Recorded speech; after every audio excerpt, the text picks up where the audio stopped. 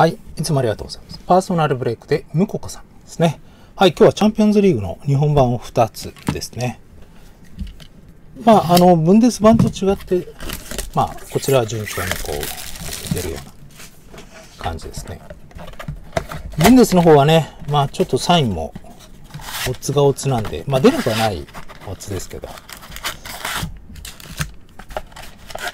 ルーキーはちょっと弱いかなとこですよね。まあでも一人でもこう出てくれればいいんですけど、まあブンデスリーガだけだと、やっぱちょっとね、弱いかと。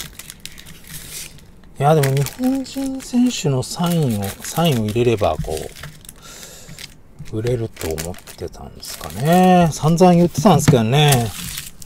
選手は散々言ってた方なんですよ。日本人選手のサインを入れれば、売れるでしょうみたいな感じでこう言われたんで。いやいやいやいやいやいやいやって100回ぐらい言いました。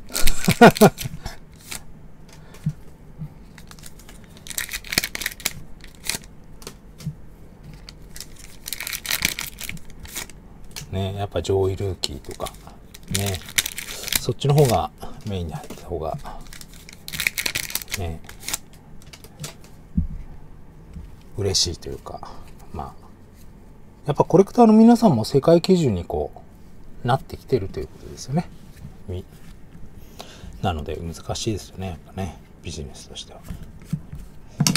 はい、じゃあルーキーね。日本版だからルーキーね、日本人選手に入れれば、売れるっしょっていうのはまあ、あ、ガビ来ました。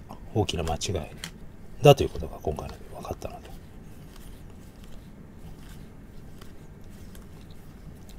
店長の失敗、あ、店長のせいにされたの。全然売れねえじゃんか、みたいな。いやいや、うちに言われてもっていうね。メッシ。はい。デリフト。まずはモジョリフですね。彼はオランダだもんね。はい。1枚。ココジだね。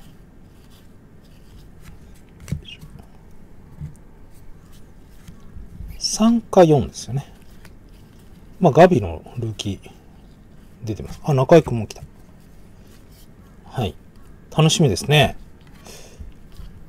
この17歳、18歳。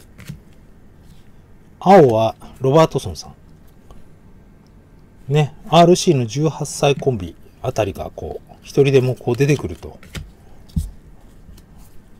プロダクト的にはかなりいいプロダクトに一瞬にして変わるんですけど、ぱサッカーもやっぱり3年ぐらい、ブツケスさんですね。125。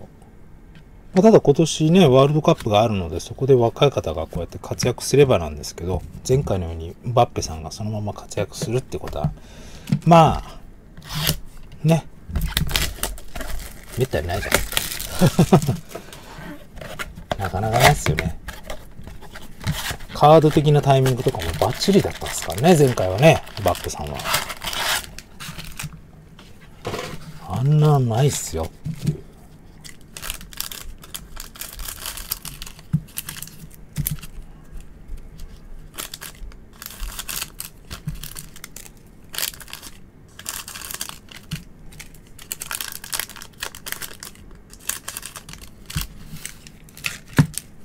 はい、2箱目も取り出してからカードチェックです。まあ、1箱目は RC に関しては良かったですね。シリアルは3枚しか出なかったです。あ、シリアルは2枚と文字リフで合計3文字でしたね。まあ、3文字が、まあ、通常なんでしょう。まあ、読んでたらラッキーという。まあ、でもちょいちょいあるかなというところでもありますけど。よいしょ。はい。じゃあ行きます。このぐらいで。はい。お黄色かな？ルーキー。誰だ？あ、ルーキーの、はい、ブロベイ。ブロベイ。ブロベイさん。はい。150です。ルーキーが来ました。海洋君。ひっくり返ってまたこうひっくり返るっていう。ルーキーいっぱい出るな。ルーキーですね、ずっと。バッペさんいました。あ、ガビさんも出る。多分、まあ、2.5箱1ぐらいですよね。目当てのベースで考えると。メッシュ。はい。モジョーリフ。はい。ルーキーです。セバスチャン・チルさん。ルクセンブルク。93年ぐらいだから、まあ、ベテランで他のリーグにいたのかなという、それかこう頑張ってこう上がってきたのかなと。面ですよね。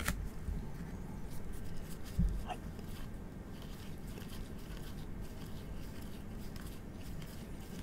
さっきは中井くんいたんだよな。青。お、ペペッチ。75です。ペペさん。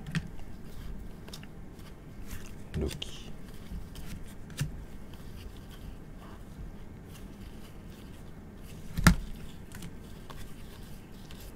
はい。クリロナでした。ということで、まあ、あの、シリアル33でしたけど、ガビのルーキーがね、2枚出ましたね。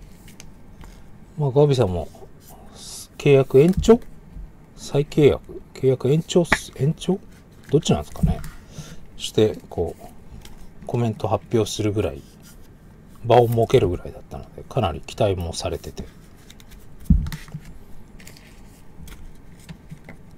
いやでもチャンピオンズリーグね、PSG がすごい強すぎて ね、マンチェスター、ね、シティ、マンチェスターユナイテッド。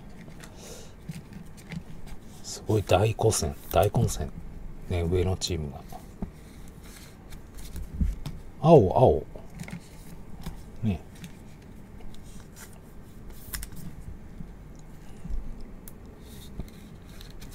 はい。ということで、まあ、あの、めちゃくちゃ小プリとかは出なかったんですけど、まあ、ガビさんが出て、中井さんも1枚出たので、ね。この辺がね、えっ、ー、と、今年？来年かな？今年か。いや、来年か。来シーズンか。冬ぐらいには始まるんでしたっけ、サッカーって。ねに参りましたんで。はい。ということで、こちらでね、今日発送いたします。またチャレンジしてください。ありがとうございました。